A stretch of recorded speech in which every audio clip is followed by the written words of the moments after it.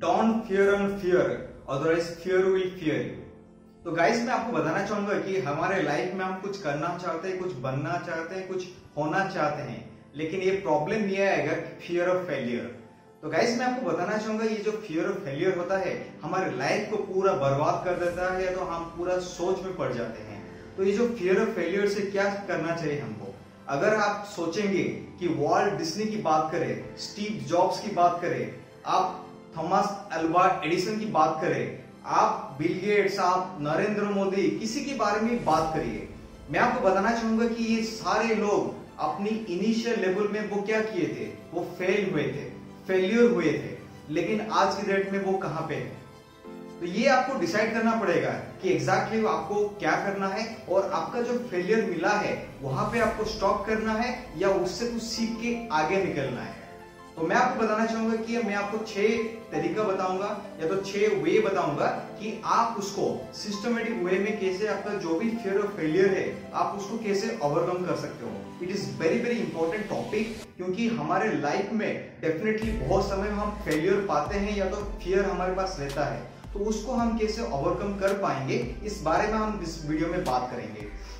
तो गाइस मैं आपको बताना चाहूँगा कि पहला पॉइंट है कि figure out the way fear comes from आपको ये समझना पड़ेगा कि एग्जैक्टली exactly जो आपका डर है, वो कहाँ से एग्जैक्टली exactly आ रहा है? कि आपके दिमाग ऐसा बन गया है, आप ऐसा सोच रहे हैं, या आपके फैमिली की वजह से आपका ये डर पैदा हुआ है, या आपका फ्रेंड सर्किल की वजह से, या कोई आपका टीचर की वजह से, या तो कोई किसी चीज़ को, कोई इंसिडेंट को लेकर आपका फियर आ रहा है तो उस चीज़ को आपको फाइंड आउट कीजिए कि एग्जैक्टली exactly कहाँ पे मेरा फियर आ रहा है। अगर उसको फाइंड आउट आप एक बार कर देते हैं तो क्या होगा कि आपके पास वो सोल्यूशन आप उसके बारे में सोचेंगे और आप वहाँ पे कोई ना कोई कंक्लूजन में पहुँच पाएँगे। तो मैं आपको बताना चाहूँगा कि आपको फिगर आउट करना है कि एग्जैक्टली exactly आपका जो फियर कहाँ से आ रहा है। तो ये पहला पॉइंट आपको करना है। सेकेंड पॉइंट मैं आपको बताना चाहूँगा कि आपको reframe the belief system you have goal for your goals कि आपके लाइफ में जो भी आपका गोल्स आपने सेट किए हैं, उसके लिए कुछ आपका बिलीफ आप ऐसा बना लिए हैं तो आपको उसके लिए आपको डर लगता है। सपोज़ मैं आपको बताना चाहूँगा कि आप सिंगर बनना चाहते हैं, आप डांसर बनना चाहते हैं, आप बहुत बड़ा स्पीकर बनना चाहते हैं। लेकिन प्रॉब्लम ये होगा कि आपके दिमाग में ऐसा कुछ बिलीफ सिस्टम आपके बैठ गया है कि बहुत सारे लोग अभी सिंगर बन रहे हैं, कोई अपॉर्चुनिटीज़ नहीं है तो बहुत सारे ऑलरेडी एस्टेब्लिश्ड है तो बहुत कंपटीशन है तो मेरे को चांस नहीं मिलेगा, मेरा टैलेंट बेकार हो गया है। तो ये क्या हो रहा है? आपका जो बिलीफ सिस्टम है, इसके वजह से जो आपका गोल है, वो इफ़ेक्ट हो रहा है। तो मैं आपको बताना चाहूँगा कि आपका जो भी आपका बिलीफ सिस्टम है, उसका रिफ्रेम कीजिए अबाउट योर गोल अगर आप रिफ्रेम करते हैं तो डेफिनेटली आपका जो बिलीफ सिस्टम वहाँ पे इंप्रूव होगा और आपका जो भी डर है, वो खत्म हो जाएगा.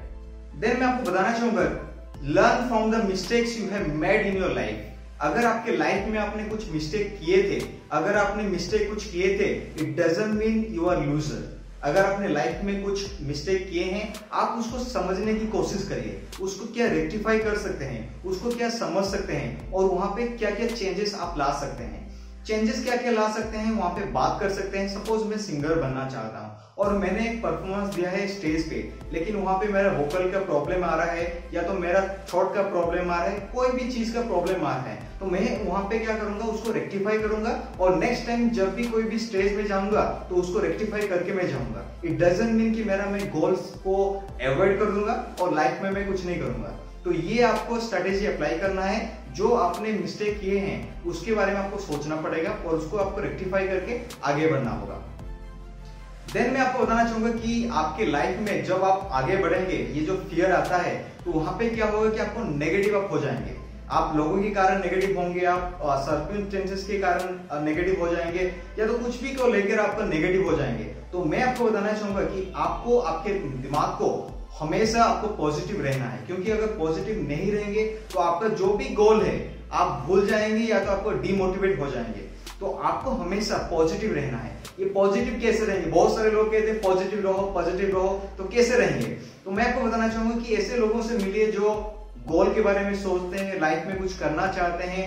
आप सोशल मीडिया पे उनको फॉलो कर सकते हैं, उनके बारे में सोच सकते हैं। उनके बारे में पॉजिटिविटी सब कुछ फैलाते रहिए। आप अगर पॉजिटिव रहेंगे तो आपका जो भी गोल है, आपको हासिल करने में आसानी होगा। तो मैं आपको बताना चाहूँगा कि always think positive and learn from your past mistakes guys मैं आपको देन बताना चाहूँगा कि बहुत समय में क्या होता है कि आपके लाइफ में जो हो गया है, आप सोचते हैं कि अरे क्या हो गया है? तो मैं आपको बताना चाहूँगा नेक्स्ट पॉइंट में ये है कि just try to feel the worst scenario आप, आपके जो पोजीशन अभी है, जो भी आपका फियर है, आप उसके बारे में सोचिए कि मेरा वर्स्ट सिनारियो क्या हो सकता है? ज़्यादा से ज़्यादा मेरा क्या होगा?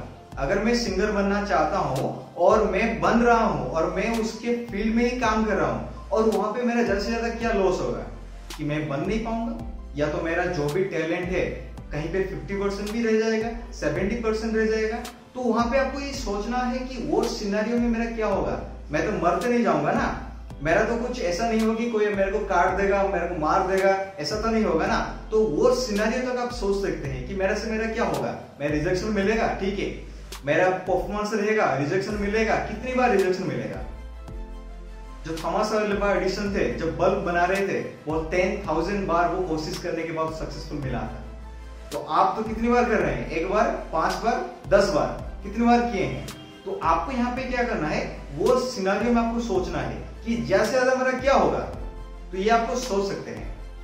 Last point is very important ये जो जितना भी सारा आपका फियरनेस आ रहा है तो उसके कारण मैं आपको बताना चाहूँगा कि हैव ए बैकअप प्लान अगर आपके लाइफ में बैकअप प्लान आप नहीं रखते हैं तो जो बनना चाहते हैं, अगर वो नहीं होता है एटलीस्ट वो हो पाएँगे जो आपका सर्वाइव के लिए हैप्पी रहेगा. तो मैं आपको बताना चाहूँगी बहुत समय में क्या होता है कि बहुत लोग, जैसे कि हॉबीज होता है सिंगर डांसर वो होता है, अगर वो नहीं भी होते हैं तो एटलीस्ट उनके पास स्टडी रहता है, उनके पास एक प्रोफेशन रहता है, उस चीज़ में वो आगे बढ़ सकते हैं, या तो जॉब कर सकते हैं, या तो कुछ भी बिज़नेस स्टार्ट कर सकते हैं। तो मैं आपको बताना चाहूँगा कि अगर आपके पास कुछ ऐसा टैलेंट है जो आप करना चाहते हैं still just have the backup plan अगर आपके पास बैकअप प्लान रहता है प्लान बी रहता है प्लान सी रहता है तो आपके लाइफ में कोई प्रॉब्लम नहीं आएगा। अगर आएगा भी तो आप उसको टैकल कर पाएँगे। तो मैं जो छह चीज़ आपको बताया, उस चीज़ को आपको समझने की कोशिश करिए, उस पॉइंट को फॉलो करिए। डेफिनेटली आपका जो भी फियर है, आपका वो चला जाएगा। क्योंकि मैं इसी फॉर्मूला को यूज़ करता हूँ अपनी लाइफ में, और मैं आज सक्सेसफुल हूँ। तो definitely you can use this formula and you can become the successful and overcome the fear of failure so so अगर आपको ये वीडियो पसंद आया है प्लीज़ लाइक दिस वीडियो बहुत मेहनत लगता है। और हमारे चैनल को सब्सक्राइब करना ना भूलें और जो घंटी का बटन है, उसको क्लिक कर दीजिए ताकि हमारा फर्दर वीडियोस आपको मिलता रहे।